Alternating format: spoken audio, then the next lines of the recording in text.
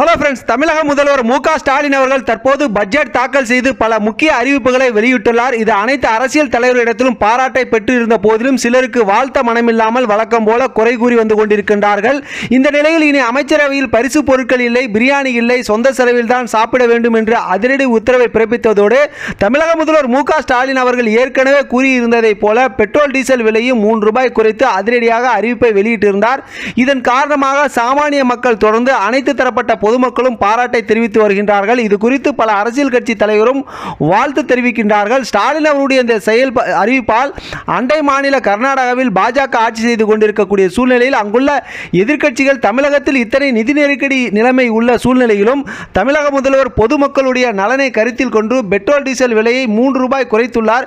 விலை குறிப்பு செய்து மக்களின் சிரமங்களை குறைத்துள்ளதாக கூறியுள்ளார்கள்.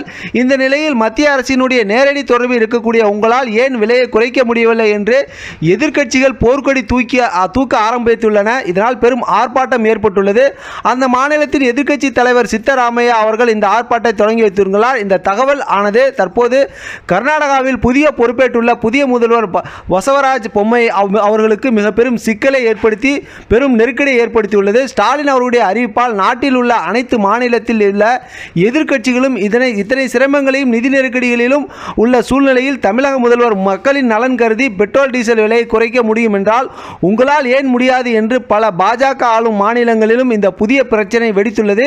இதனால் ஸ்டாலின் அறிவிப்பு டெல்லி வரை தலைவலியை ஏற்படுத்தியுள்ளது. ஸ்டாலின் அவர்களை தொடர்ந்து நாட்டில் உள்ள அனைத்து அவருடைய செயல்பாடுகள் குறித்து நாட்டில் உள்ள அனைத்து அரசியல் தலைவர்களும் பாராட்டி வருகிறார்கள் என்பது குறிப்பிடத்தக்கது.